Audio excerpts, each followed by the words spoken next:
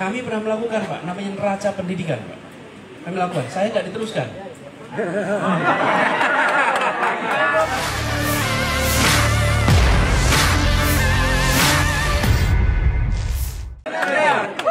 namanya neraca pendidikan. Kenapa disebut neraca pendidikan? Jumlah input yang masuk, sumber dayanya, dan output yang keluar. Karena itu disebut neraca. Masuknya banyak, keluarnya sedikit. Hilang di jalan ini. Hilang di jalan. Nah ini Pak, menurut saya komitmen itu harus kita wujudkan. Dan cara mengujinya gampang. Cek aja jumlah bangkunya.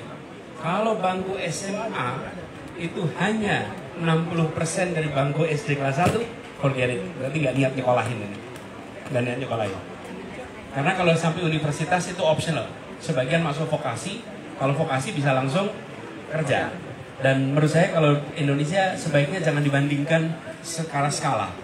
Karena begini, kalau Indonesia bandingkan Malaysia, Indonesia bandingkan Singapura agak agak berat memang kita.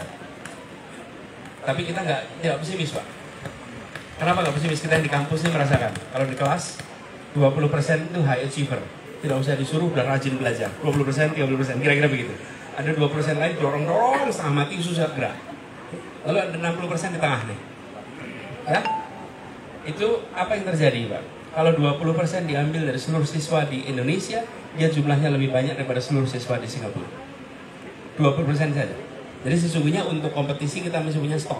Tapi yang tertinggal cukup cukup banyak. Nah, karena magnitude kita yang besar sekali. Lalu tentang pendidikan karakter, saya rasa setuju Pak, ini harus jadi perhatian soal pendidikan karakter ini. Kalau namanya pembiasaan ini.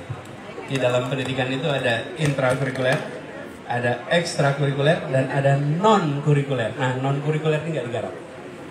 Ini harus digarap. Non kurikuler. Bapak Ibu mungkin masa kecil masih ingat sebelum kelas ada namanya piket bersih-bersih kelas.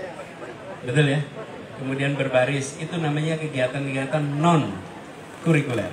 Nah, non kurikuler harus dikembalikan karena non kurikuler itu sifatnya pembentukan kebiasaan. Pembentukan kebiasaan itu yang akhirnya membentuk namanya karakter. Diajarkan, dibiasakan, jadi karakter, jadi budaya, tumbuhlah kebudayaan. Itu urutannya kira-kira. Jadi harus ada proses pembiasaan lewat programnya. Nanti insya Allah Pak, kalau ini akan kita seriusin Pak. Jadi mudah-mudahan jadi solusi buat semua.